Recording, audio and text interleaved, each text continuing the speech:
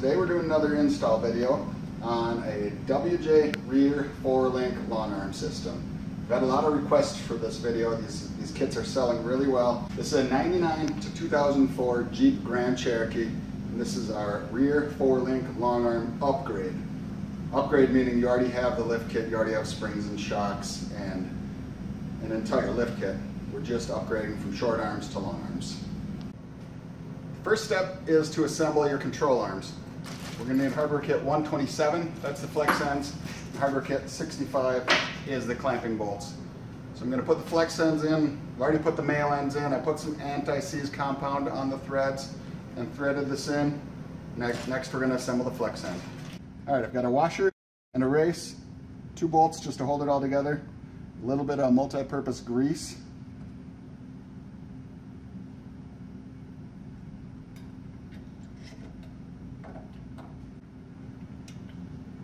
grease, a little bit of grease on the ball. I'm only greasing the mating surfaces. A light coat is all you need. Any extra grease is just going to push out anyway.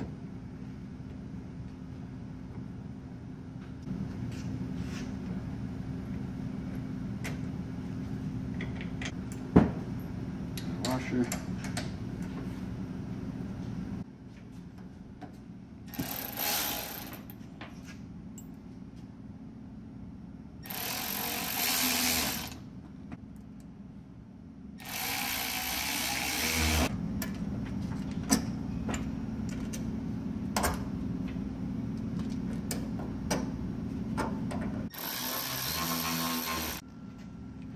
All right, first I'm gonna torque them all to 70 inch pounds. I'm gonna go in a crisscross pattern, just like torquing your lug nuts. Next I'm gonna torque them to 85 inch pounds. All right, next is your clamping bolts. Hardware kit 65.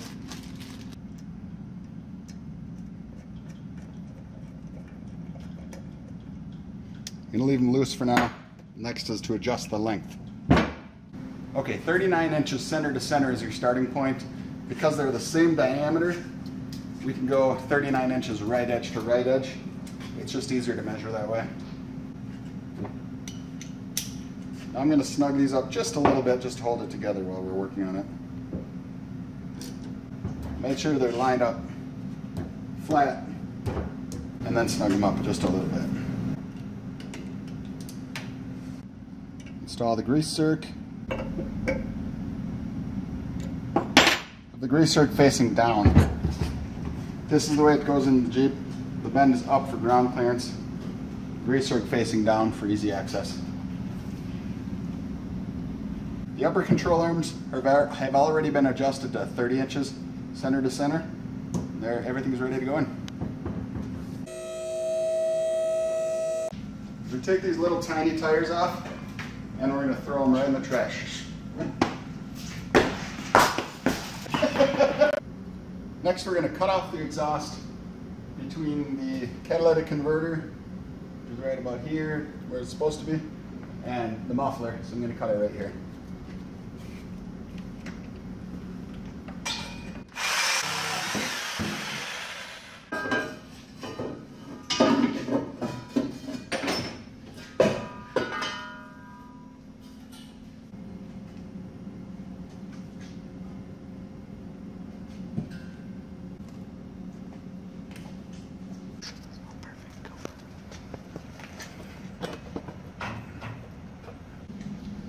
All right, got our subframe in position. To center it up, you just eyeball it. There's a hole in the subframe and a hole in the Jeep, and you just line them up by eyeball. If you have the 242 HD transfer case, that's the heavy duty 242 with the 32 spline output. Uh, the output on it's a lot longer, so it moves this little harmonic balancer back a couple inches, and that could cause some interference between the harmonic balancer and your subframe. So the best option is to get a new drive shaft without the harmonic balancer. We do make a hack and tap for that transfer case, so you can use a double cardan CV. It's easy to install. You just cut the end of your shaft off, tap it, and put a new yoke on provided by us, and then a new double cardan CV drive shaft. Um, if you really want to keep your harmonic balancer you can relocate this a little bit to clear it. We've got everything lined up, jack stand holding the subframe in place. Now it's time to drill our five mounting holes on each side. All right, for ease of installation, you're gonna wanna make these holes just slightly oversized. We've drilled our holes, we've taken the subframe down and touched up the paint. So now we're gonna put our hardware in. These two pairs of holes get nut plates, bolts and washers. This individual hole over here gets a regular nut.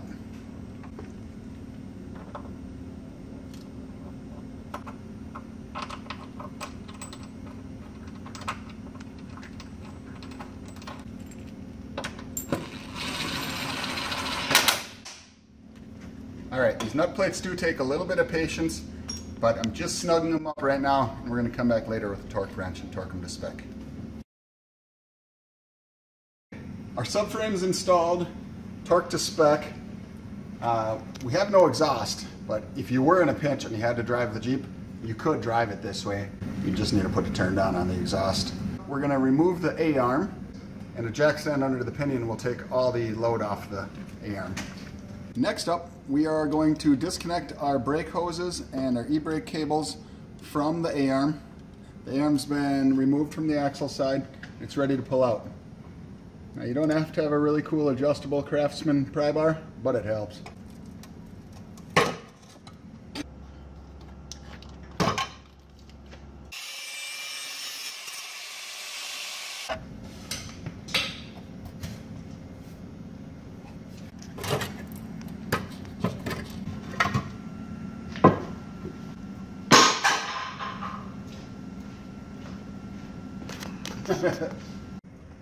Next up, we are installing our four-link bracket. Three M14 bolts. Again, I'm not actually tightening with the impact, I'm just snugging them up, and we're gonna tighten them with the torque wrench. Uh, we're torquing these bolts to 100 foot-pounds.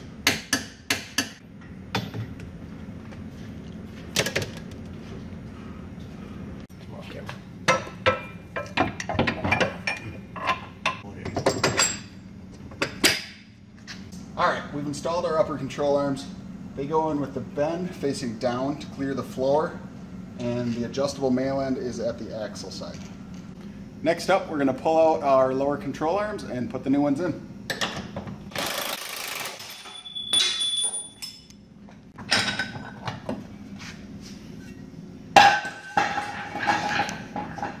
Lower control arms are gonna use two steel spacer washers to push the lower control arm in towards the center of the Jeep.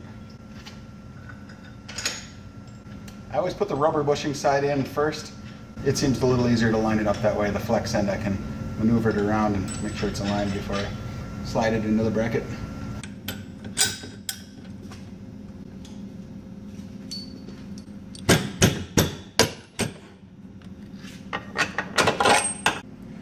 Next up, we're going to install our coil spring retainers. To do that, we need to take out the coil springs.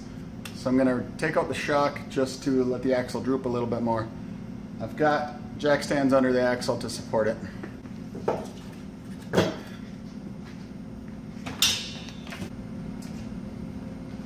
Normally we have to drill and tap this hole.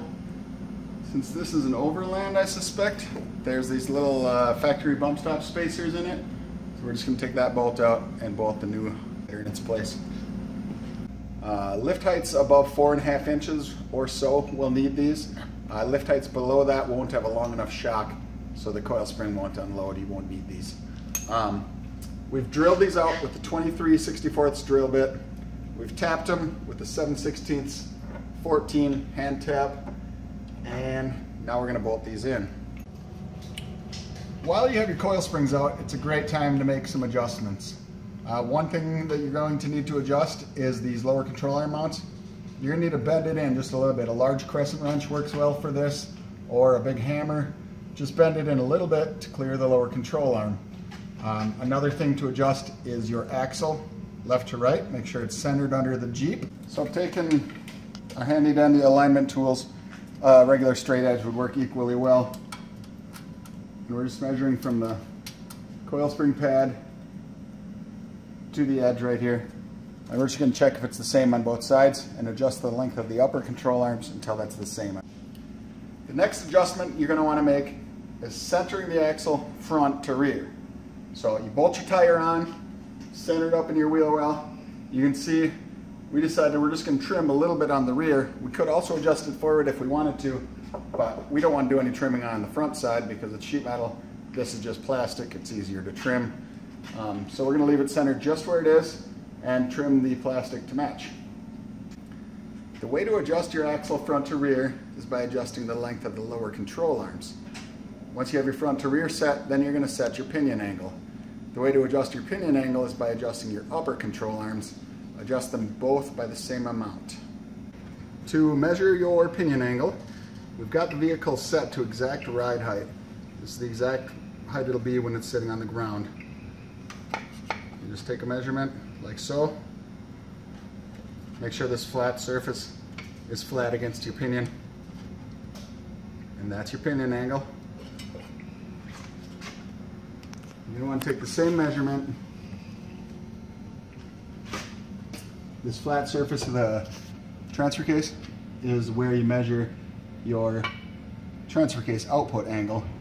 And in this style, with a single U-joint and a single U-joint, you're going to want those measurements to be equal. So you adjust your pinion angle until it's equal to your transfer case output. So we've set the Jeep at exact ride height.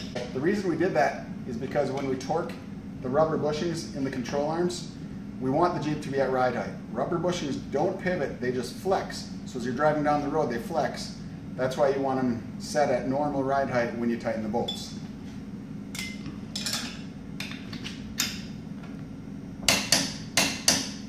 Torque spec on these is 120 foot-pounds.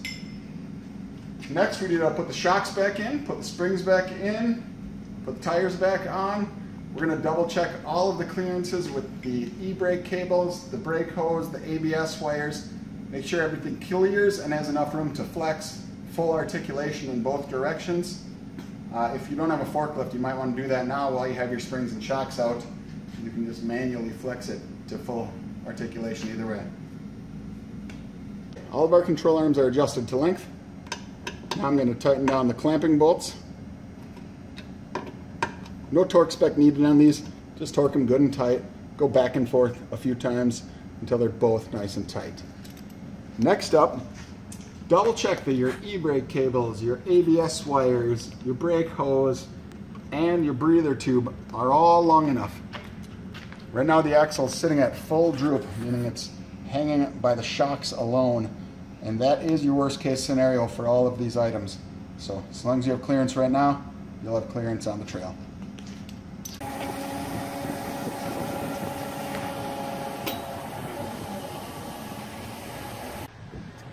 All right, so we flexed it out with the forklift.